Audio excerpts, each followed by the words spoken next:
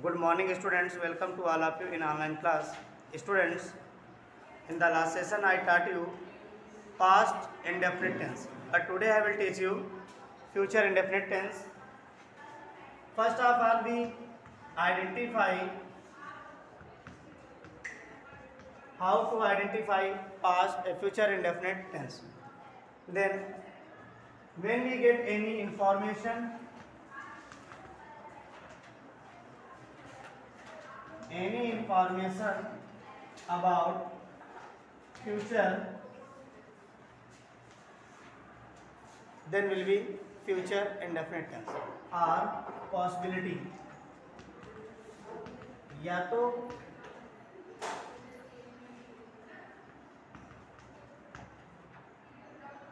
या तो पॉसिबिलिटी पाई जाए या फ्यूचर की कोई इंफॉर्मेशन मिले वहाँ पर आपका कौन सा टेंस होगा फ्यूचर इंडेफिनेट होगा।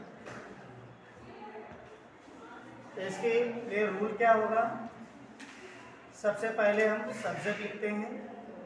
सब्जेक्ट के बाद हेल्पिंग वर्ब विल साइड लिखेंगे। फिर वर्ब की फ़र्स्ट फॉर्म का यूज़ करेंगे। ऑब्जेक्ट एंड अदर वर्ब ये आपका फॉर्मेशन होगा फ्यूचर इंडेफिनिट का। जैसे example she will go there tomorrow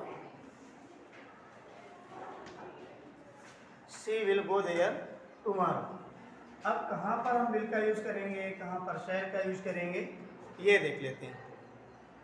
With first person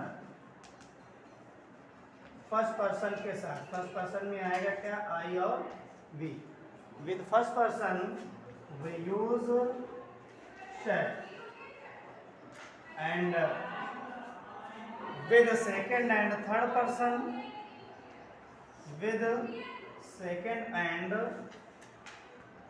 third person second person क्या होता है? यू होता है। थर्ड पर्सन क्या होता है? He she it and they we use will.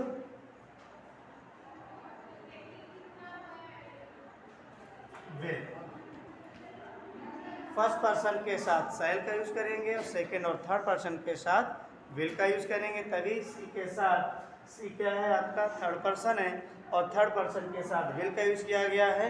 अगर एग्जांपल और दूसरा लिखें फ़र्स्ट पर्सन से रिलेटेड तो ऐसे लिखेंगे we shall do our work tomorrow यानी यहाँ पर यूज़ हो गया पर्सन फ़र्स्ट जब फ़र्स्ट पर्सन का यूज़ होगा तो हेल्पिंग वर्ब सेल आएगी, या आई हो या वी हो, उनके साथ सेल का यूज़ करेंगे। इसी एट यू होगा तो उसके साथ विल का यूज़ करेंगे। नोट कर लो स्टूडेंट नेगेटिव सेंटेंसेस क्या हैं?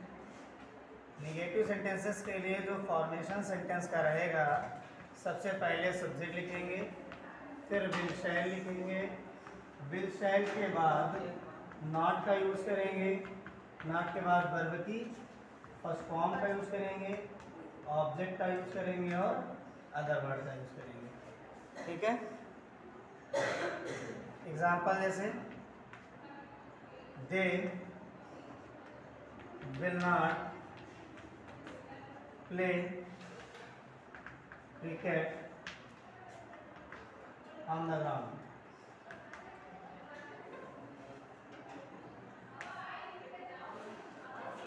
अगर फ़र्स्ट पर्सन का यूज़ करें तो we shall not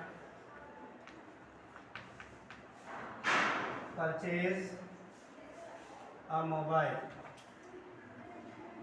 तो ये देखा हमने कि हेल्पिंग वर्ब के बाद क्या लगा दिया नाट लगा दिया। हेल्पिंग वर्ब के बाद अगर नाट का यूज़ हुआ है तो सेंटेंस कैसा होगा? निगेटिव सेंटेंसेस होगी ठीक है? तो जैसा फॉर्मेशन है, पहले सब्जेक्ट लिखा गया, फिर विल से लिखा गया, फिर नाट लिखा गया वर्ब की फ़र्स्ट फॉर्म लिखी गई ऑब्जेक्ट लिखा गया। तो ठीक उसी तरह से सेंटेंस का भी एग्ज़ाम्पल है। पहले सब्जेक्ट लिखा हुआ है, दे। फिर से लिखा हुआ है विल लगा हुआ है, दे के साथ विल का यूज़ होता है थर्ड पर्सन है। फिर नाट वर्ब की फ़र्स्ट फॉर्म का यूज़ किया गया है ऑब्जेक्ट है और अदर वर्ड इसी तरह सेकंड सेंटेंस है। वी कौन सा पर्सन है? फ़र्स्ट पर्सन फ़र्स्ट पर्सन के बाद के साथ सेल का यूज़ होता है। फिर नाट लगा हुआ है। वर्ब की फ़र्स्ट फॉर्म और ऑब्जेक्ट लिखा हुआ है। तो इस तरह से हमारा निगेटिव सेंटेंसेस बन जाएगा। ठीक है? अब हम लोग बात करने वाले हैं इंटेरोगेटिव सेंटेंसेस की। तो पहले हेडिंग डालते हैं। Interrogative sentences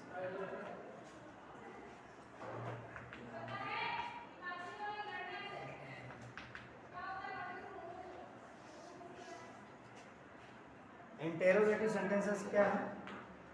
When sentence start with helping helping verb का मतलब है विल शैल जब आपका सेंटेंस विल शैल से स्टार्ट होगा तो कैसे बनाते हैं? इसके लिए रूल लिखेंगे। सबसे पहले सब्जेक्ट लिखा जाएगा। हेल्पिंग वर्ब सबसे पहले लिखी जाएगी। विल शैल जिसको बोलते हो?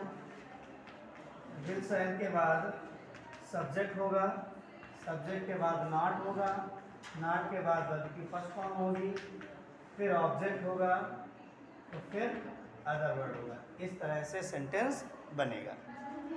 तो एग्ज़ाम्पल इसके बाद लिखते हैं। नोट कर लो जब तक। स्टूडेंट्स अब आगे इसका एग्ज़ाम्पल देखते हैं इंटरोगेटिव सेंटेंस का। जैसे लिखा हुआ है will you not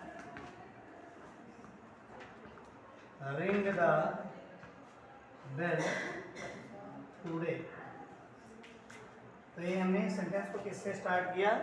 will shall से। विल सेल के बाद है सब्जेक्ट आएगा, फिर नॉट आएगा वर्ब की फ़र्स्ट फॉर्म और ऑब्जेक्ट आएगा। इस तरह से हमारा ये हेल्पिंग वर्ब से स्टार्ट होने वाला सेंटेंस का फॉर्मेशन हो जाएगा। जैसे ऐसे भी कर सकते हैं। Shall I return from office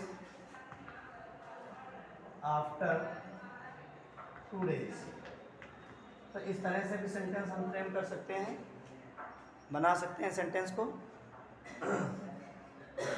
एक दूसरे तरीके से सेंटेंस और बनता है इंटरोगेटिव एक तो हेल्पिंग वर्ब से बनता है, दूसरा सेंटेंस तब बनता है जब हमारा सेंटेंस किससे स्टार्ट हो? क्वेश्चन वर्ड से, या कह सकते हो सेंटेंस डब्ल्यू एस टाइप से स्टार्ट हो। उसके लिए क्या लिखेंगे?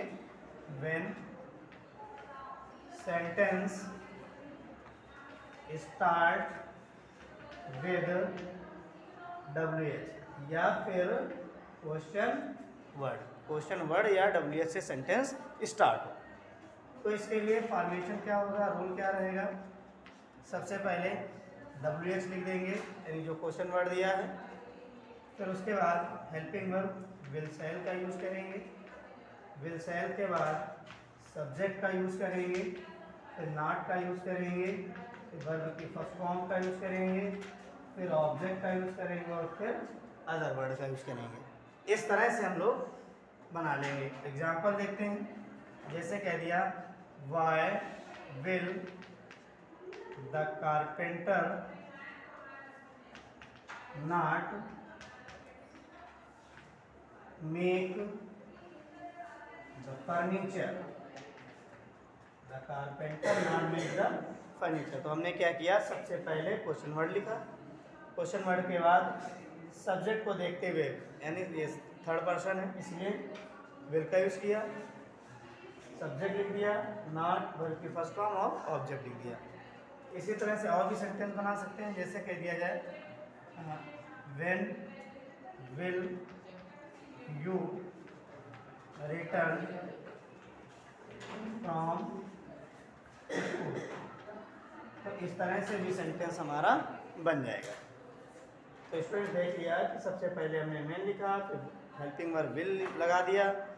विल के बाद सब्जेक्ट लिखा वर्ब फ़र्स्ट फॉर्म ऑब्जेक्ट और अदर वर्ड यानी इस तरह से हमारे इंटेरोगेटिव सेंटेंसेस भी बन जाएँगे।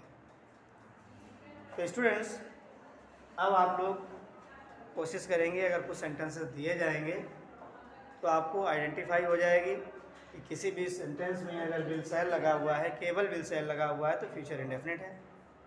सिंपल का फॉर्मेशन क्या है? सब्जेक्ट के बाद विल सेल आएगा। निगेटिव में क्या है? विल सेल के बाद नाट आएगा। इंटरोगेटिव में क्या है? पहले बिल सेल आएगा या फिर बिल सेल के पहले क्वेश्चन वर्ड आएगा। तो पहला जो रूल था उसमें बिल से के सेंटेंस स्टार्ट हुआ करते थे। जो दूसरे टाइप का है, उसमें बिल सेल के पहले क्वेश्चन वर्ड का यूज़ ज़रूर होगा। तो इस तरह से हमारा ये फ्यूचर इंडिफिनेट टॉपिक फिनिश होता है। Thank you have a nice